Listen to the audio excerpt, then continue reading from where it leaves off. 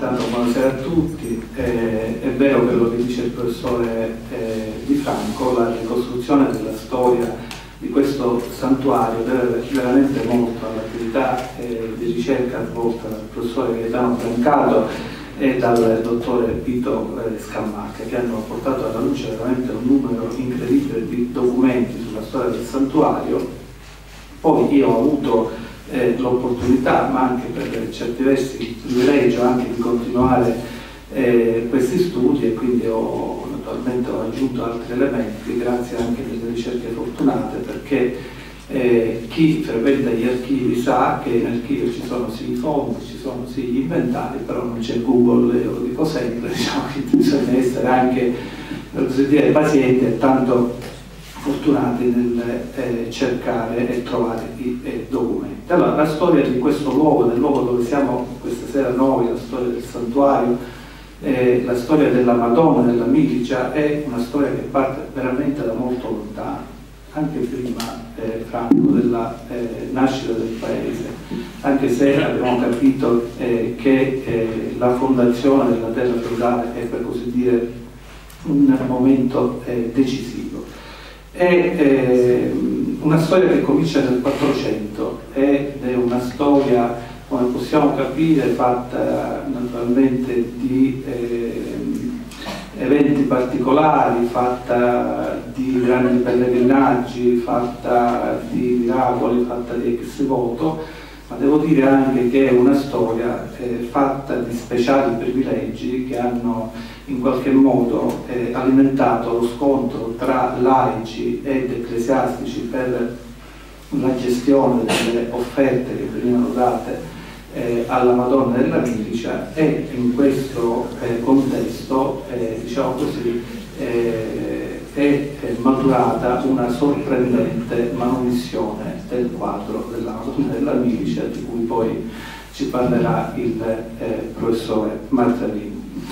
È una storia lunghissima, quindi ho cercato in qualche modo eh, di ricostruirla per tempi, perché insomma sarebbe veramente difficile, ne parlavo proprio giusto appunto prima dell'inizio con il direttore del santuario, insomma eh, ricostruirla proprio tutta.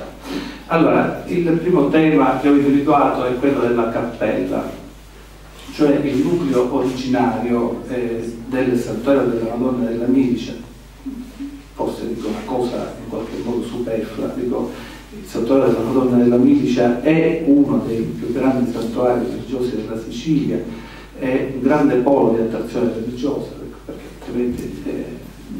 stiamo parlando di questo. Quindi allora il nucleo originario era una piccola cappella costruita alla fine del 400 da Anfuso Bellacera. Chi era Anfuso Bellacera? Era un imprenditore eh, della canna da zucchero, un eh, cittadino di Lipari, poi diventato aviatore di Palermo.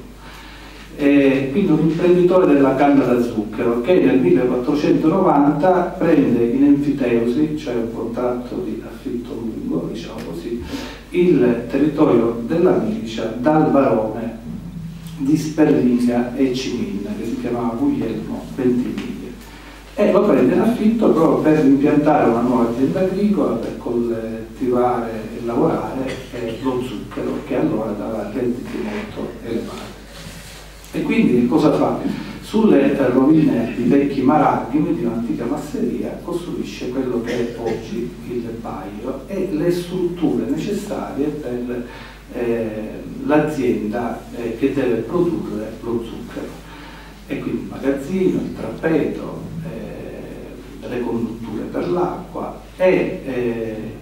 chiaramente la cappella.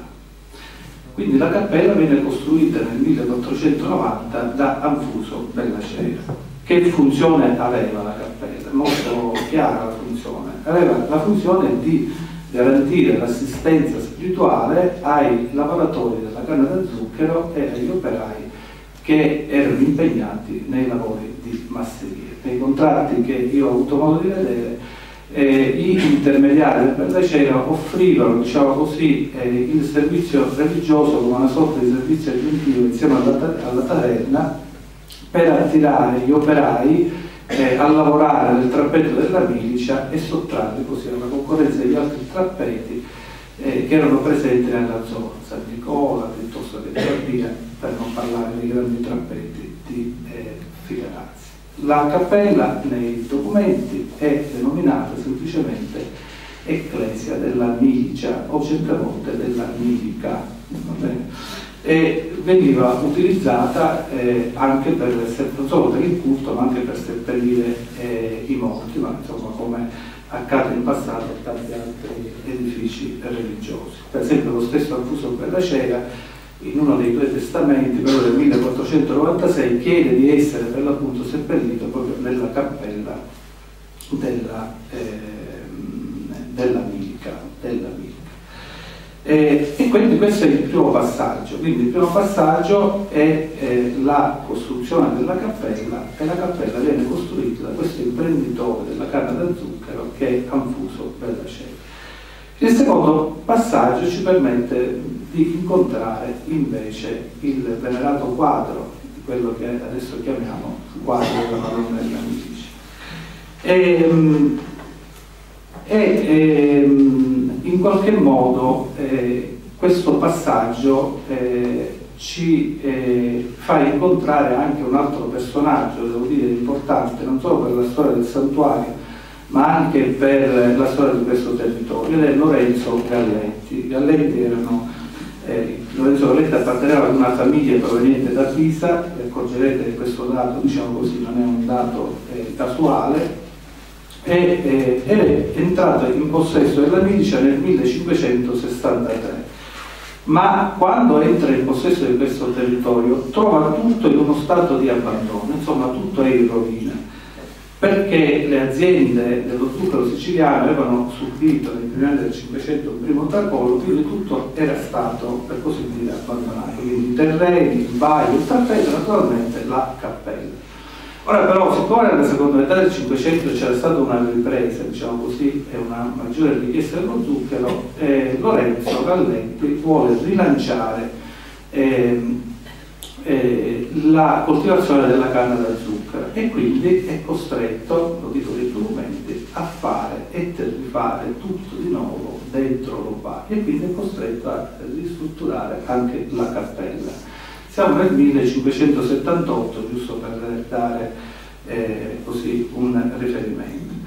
Eh, e dai notai del periodo, per esempio Orazio de Allegra, apprendiamo alcune cose interessanti allora, la cappella eh, aveva l'ingresso rivolto verso la corte, cioè significa in una sostanza verso il baio, quindi non c'era eh, diciamo così, l'entrata lato nord, c'era per vedere,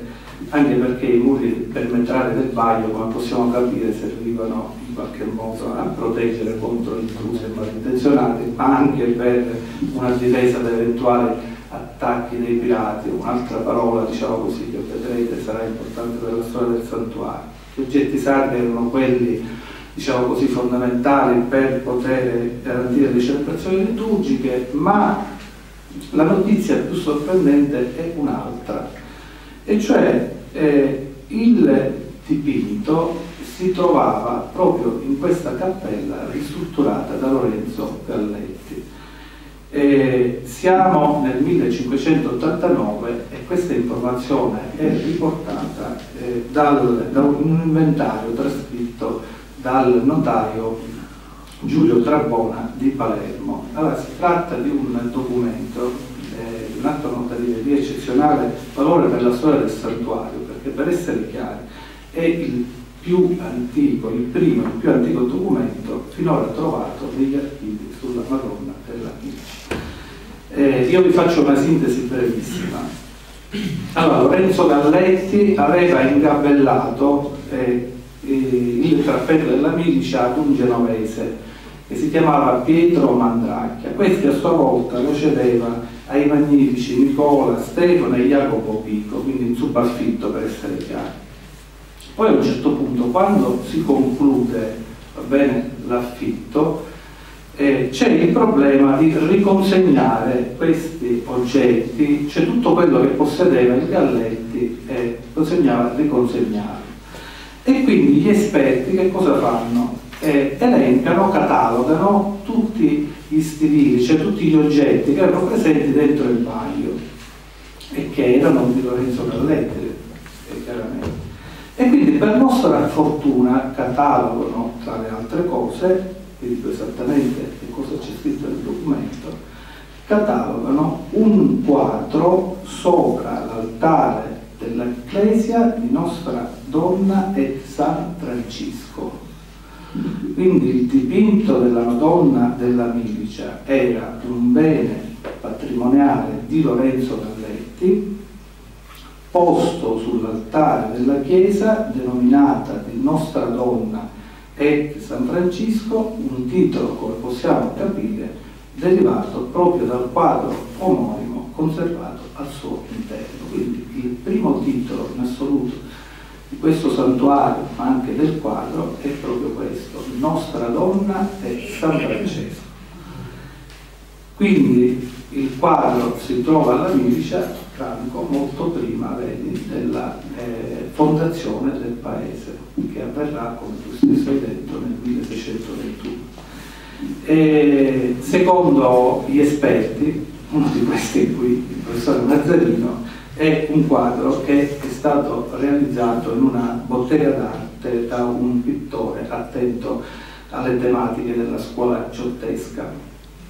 e probabilmente a cavallo tra il XIV e il XV secolo, la famiglia pisana dei Galletti, toscana, quindi pisana si chiama per l'appunto,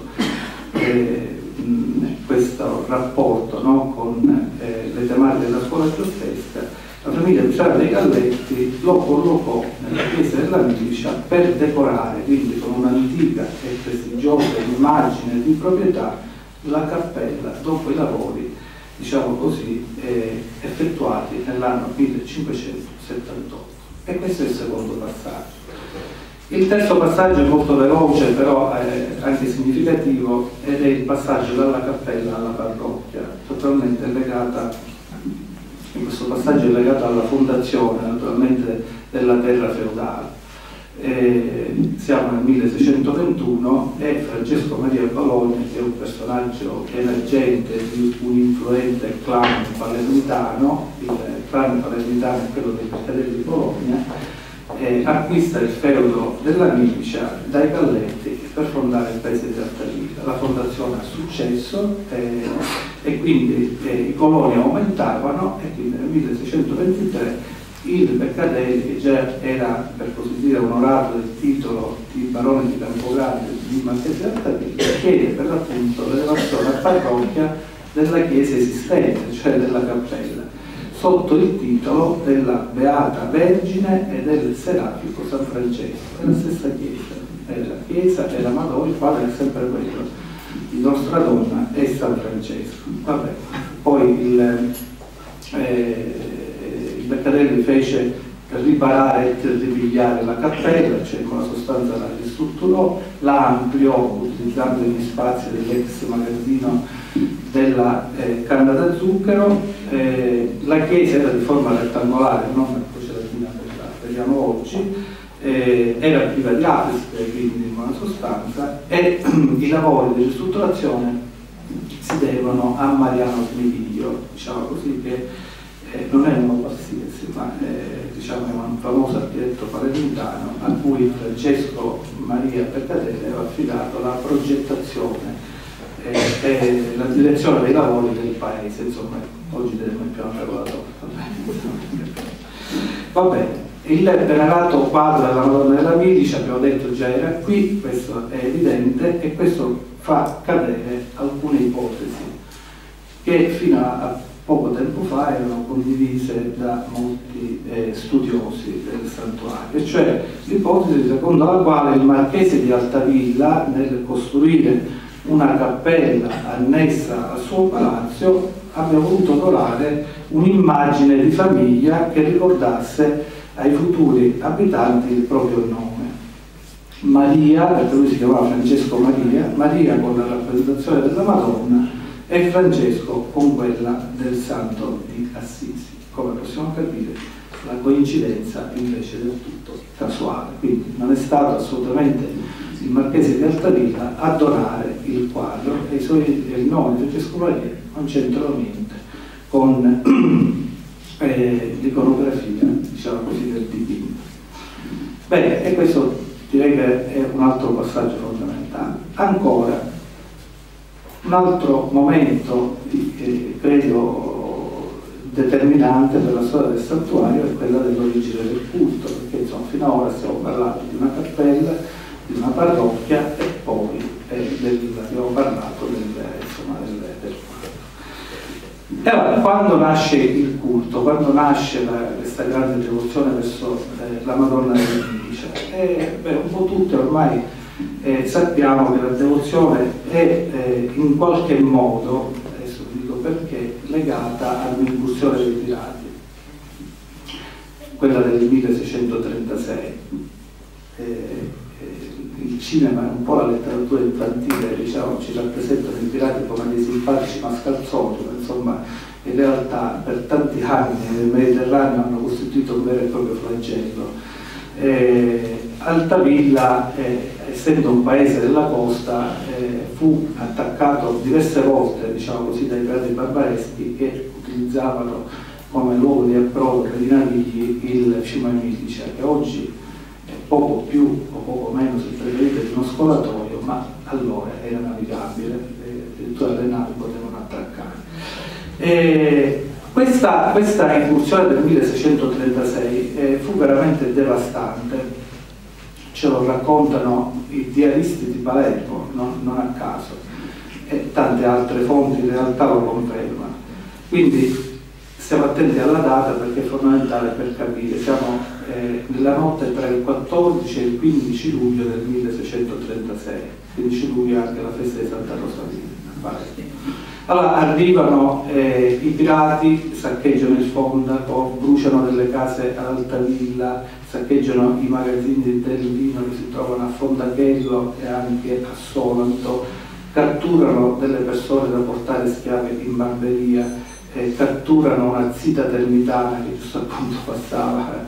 da, eh, da, queste, da queste parti, operano il vilipendio, dice, eh, dicono i documenti, il vilipendio dell'immagine dei santi. Cioè si tratta eh, dei cosiddetti corpa d'accetta che sono richiamate dalla tradizione orale, cioè sono le quattro fessure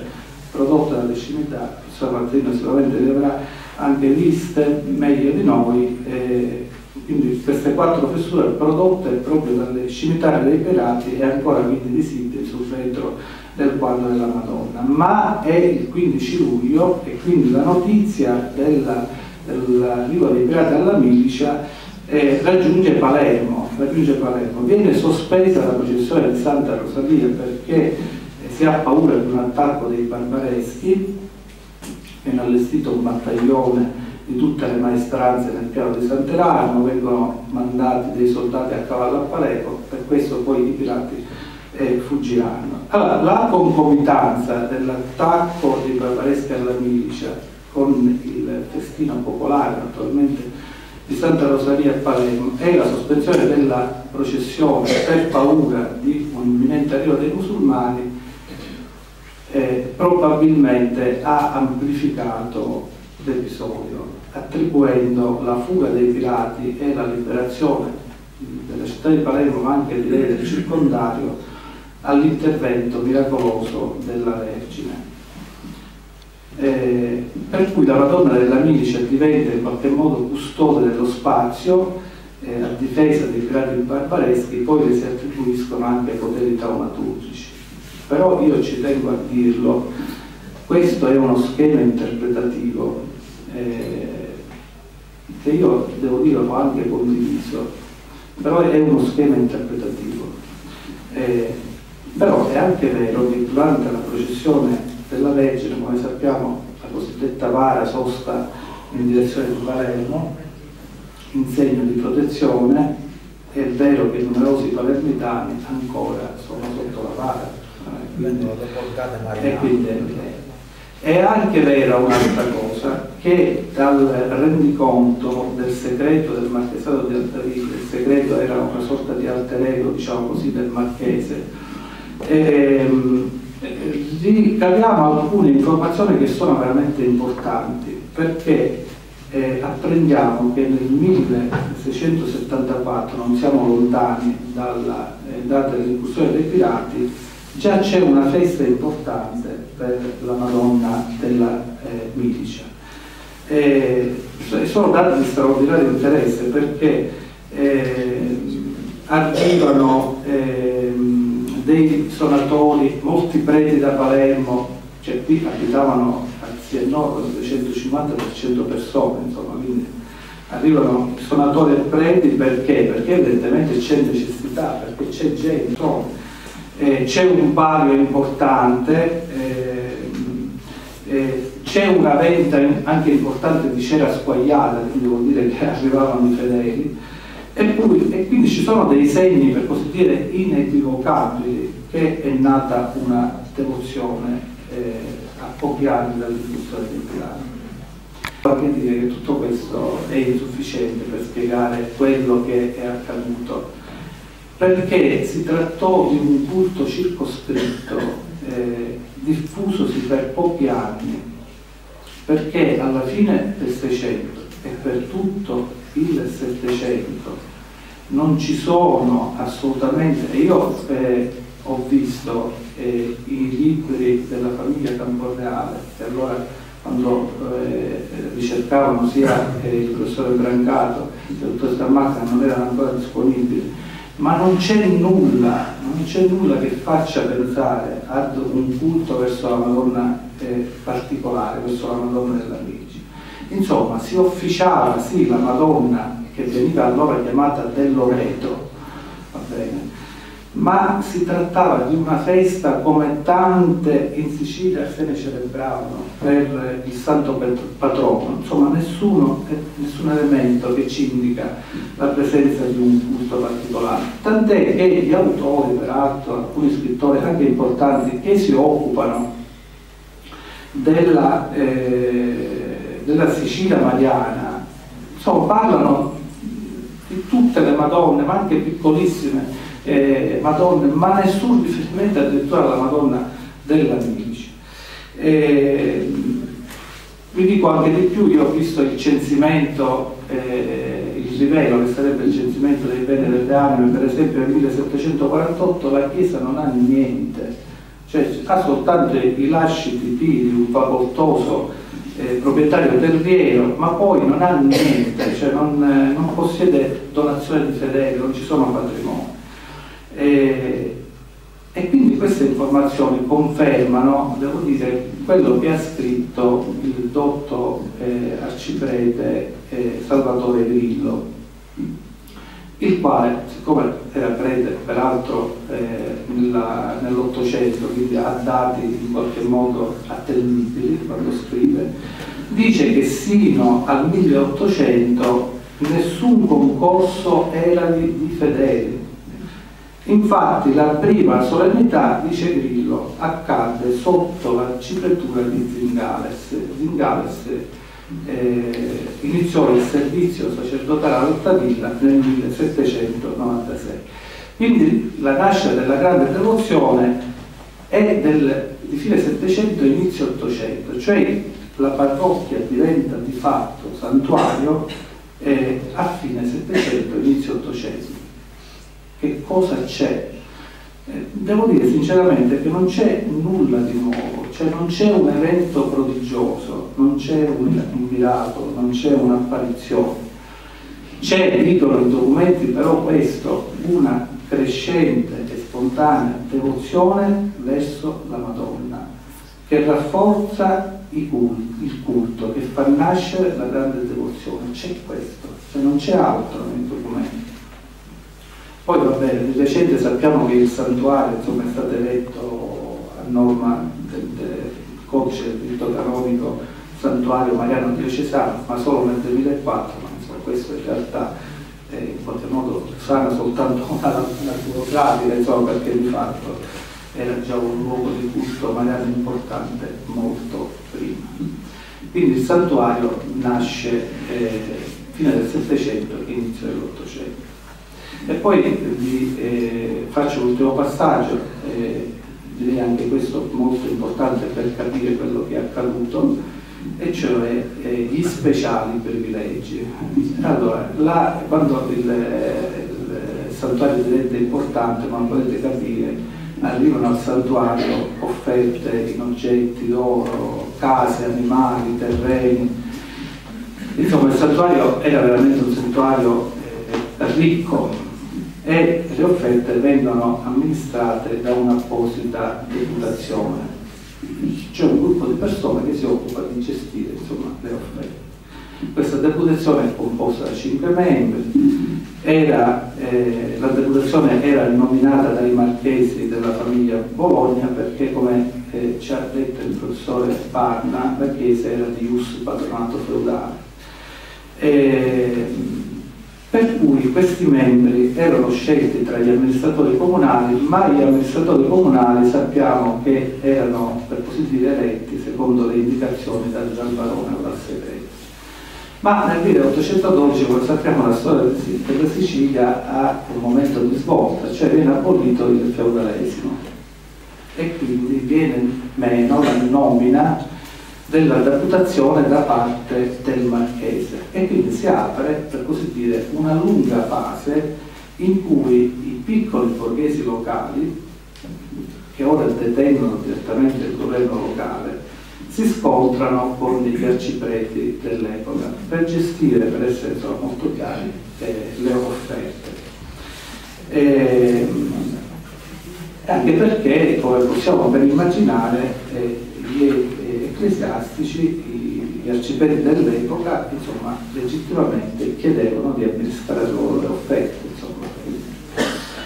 E, e, qui succede veramente eh, qualche cosa di inaspettato. Se mi seguite, forse eh, così un po' con, con, un po' più di attenzione, forse riusciamo a cogliere diciamo, bene questo passaggio. Allora, per contrapporre alle richieste eh, del credo argomenti giuridicamente validi, gli amministratori comunali cominciano a sostenere che il quadro che, che chiamano della Madonna di Loreto, nome mai sentito né riscontrato tranne in casi eccezionali nei documenti che la Madonna, vi dicevo, è denominata del Loreto, e, ehm, sostengono quindi che questa Madonna di Loreto è, portata, è stata portata ad Altavilla dalla chiesa di Santa Maria di Campogrosso. Allora, l'assunto che il dipinto venisse dalla chiesa di Santa Maria di Campogrosso all'epoca non era un dato neutro, perché cosa significava? Che essendo quella chiesa di Ius patronato Reggio, per essere stata costruita secondo una tradizione allora accreditata da Ruggero di Altavilla, le offerte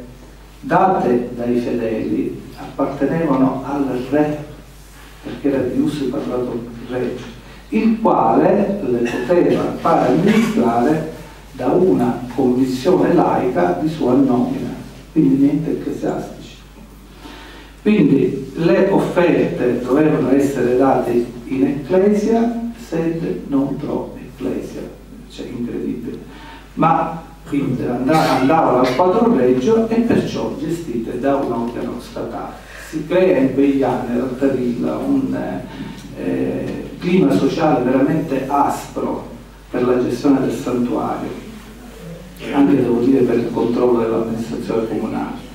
E in questo contesto di alta tensione devo dire che nel 1837 eh, accade veramente un episodio molto brutto, eh, e cioè viene ucciso il notaio Domenico Sant'Angelo, che era un liberale e un convinto sostenitore della laicità della cappella della Milice. E diventa quindi una questione di, di un certo rilievo, tant'è che nel 1839 viene emanato un real privilegio che si occupa proprio della eh, parrocchia del santuario della Madonna della Medici. È pubblicato sotto la data del 18 eh, settembre 1839 e questo real privilegio che cosa fa? Eh, accoglie le tese dei, dei laicisti e istituisce una, eh, la, la, parrocchia della Milicia come pia opera laicale chiamandola la pia opera radicale della Madonna di Loreto, la sottopone alla vigilanza del Consiglio Generale degli Ospizi, cioè con un'operazione per così dire, eh, qui non posso poi aiutare, ma giuridicamente molto raffinata, cioè la cappella viene separata dalla parrocchia, per cui le elemosine pervengono in ecclesia ma non sono de ecclesia, non so come dire. Quindi la cappella diviene peraltro sulla carta una struttura di beneficenza che non fa beneficenza naturalmente, perché le donazioni dei fedeli servono, attenzione, per fare fronte alla festa annuale e al culto e poi il rimanente eh, era destinato bene, ad accrescere il patrimonio laico sempre della cappella. Ma ora vi dico come viene gestita però questa cappella, perché, eh, perché è una delle pagine per così dire più triste della storia del santuario. Eh, comunque con il, eh, eh, il, titolo di Loreto con il Regio Decreto del 1839 prevale peraltro sul titolo Madonna del Loreto. E molti di questi borghesi cominciano a mettere per legittimare il nome Loreto ai loro figli i nomi di Loreto, Loreta, Lauretana prima del 1839 per vita nessuno si chiama così e chiaramente capiamo che il decreto è fondato eh, su principi astratti ma la cosa più brutta è che la pia opera radicale della Madonna di Loreto viene gestita in maniera privatistica eh, dagli amministratori di Alta Villa, sono gli amministratori comunali e diviene in poco tempo un vero e proprio centro di potere governato attraverso un sistema familistico e clientelare.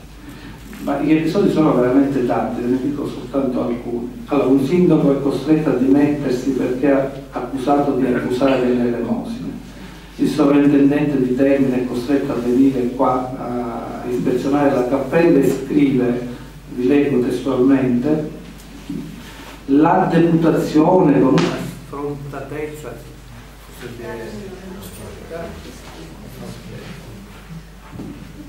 Forse sto parlando molto ma spero di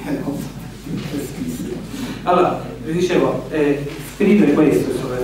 la deputazione con una sfrontatezza senza pari non ha avuto ritegno a commettere continui furti,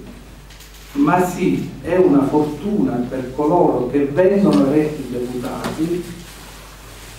nel mentre poco annualmente si ritrae dalle viscose somme che misteriosamente spariscono. Ma poi c'è di più, perché alcuni membri della confraternita della Pare, che è la prima confraternita eh, che nasce a supporto della, della, della Madonna del Santuario, insomma, eh, molti venivano da Palermo allora, il documento dice agevolati dai eh, deputati, oggi potremmo dire corrotti, corrotti dai deputati, eh, si fingevano invasi, si fingevano invasi da maligni spiriti o muti, affrettavano miracoli avvenuti e poi cercandosi il muto che aveva ottenuto la parola più non trovavasi.